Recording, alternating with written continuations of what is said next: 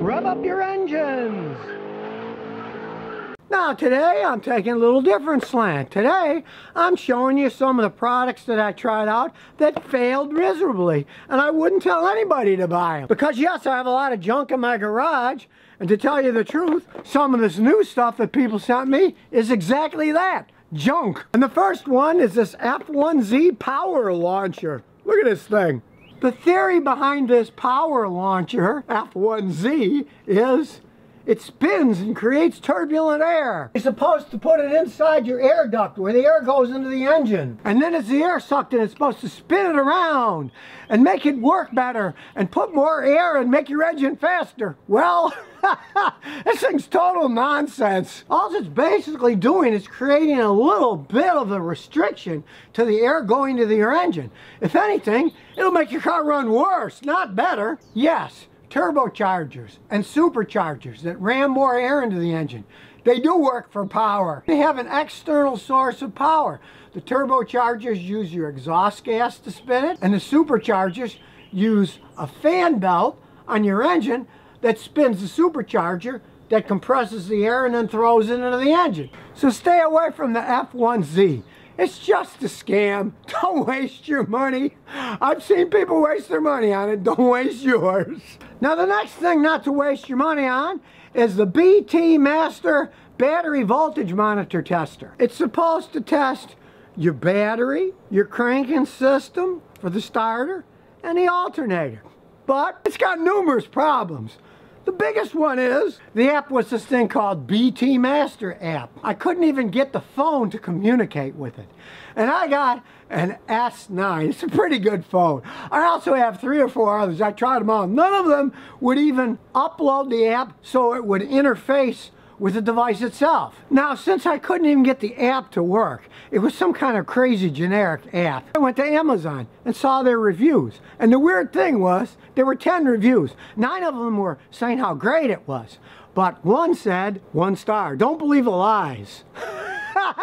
and the other nine, they all praised and said how great it was. But they were all written between two days in January this year.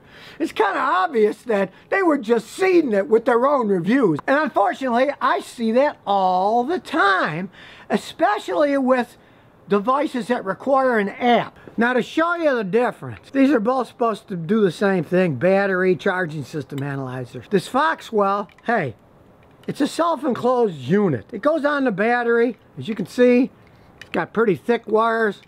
Look how cheesy the wires are on this other one. But the main thing is this is a standalone device. You hook it up, check your battery and charging system. This thing, it hooks up and has this little unit inside, but then there's an app that's supposed to go back and forth on your phone in order to do the analysis. Why on earth would you make a device that's contained here and then have to beam it with an app to your phone and hope that the thing works? It's just stupid. You would make a standalone device that does it all itself, like the Foxwell. Why would you want to make something like this, very cheaply made, you can tell the wires are thinner, it's got cheap construction to it, and then have an app that's some kind of generic app that's used by testers to run their equipment. I see these apps not work all the time. In this case, the saying, you get what you pay for, is totally true.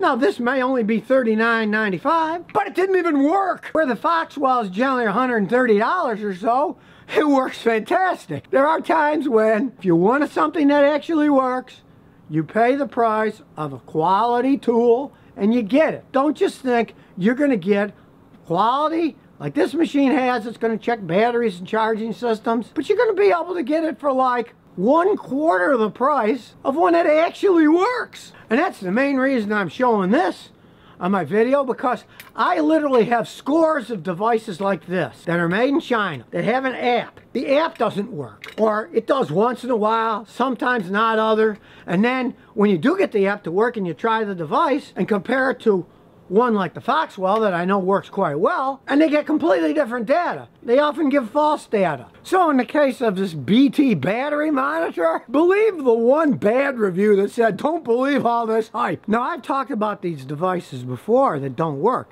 This is the XY4 Plus key finder. Supposed to put on your keys, your phone has an app. Well, it was an absolute pile of junk. I bought it through Amazon and I complained later on last year, and now I look on Amazon, they don't even sell the XY4 Plus anymore because they realized that it was a scam and they took it off their site. So when it comes to buying tech items these days, especially newer ones. Don't believe hype that people are going to say, whether it's advertising or one of the 10 best tools of 2018, whatever nonsense people are throwing out to them. Find somebody like me who's tried them out or read serious reviews about it before you throw your money out because unfortunately there's a lot of junk out there on the internet. Now the next thing not to buy is this XADO Atomic Metal Conditioner. It's supposed to revitalize your engine while you drive. Now, snake oil salesmen have been around probably for centuries, but this one takes it to an extreme. Listen to what it claims it does. Restores worn engine metals compensates the ongoing wear of parts, provides parts protection against loads, reduces noise, improves lubricating properties of oil, increases the engine life service span, reduces fuel consumption, increases engine power and acceleration. Now, is that too good to be true? Well, yeah, of course it is. I contacted the company and said, hey, give me some scientific evidence that this stuff works. Real scientists that I can talk to or email back and forth and check their credentials to make sure they're real. And guess what? I never heard from them again.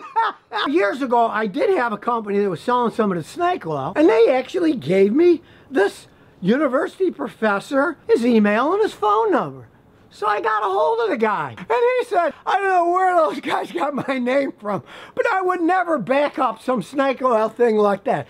I'm a scientist. I'm a university professor. I'd lose my job if I was found selling snake oil that there's no proof that it helps your car. So I told that to the company, and guess what? I never heard from them again either. now, years ago, there were some products out there I'm talking about the 1970s, 60s. You put the additive in and it had metal in it.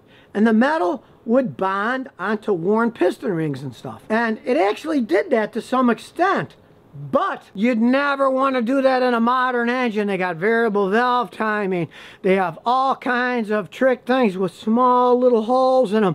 And if you get metal building up in those holes, they could clog up your engine and blow the whole thing. So believe me, stay away from these miracle snake oil additives that are going to rebuild your engine. You're taking a chance. You have no idea what's inside these things.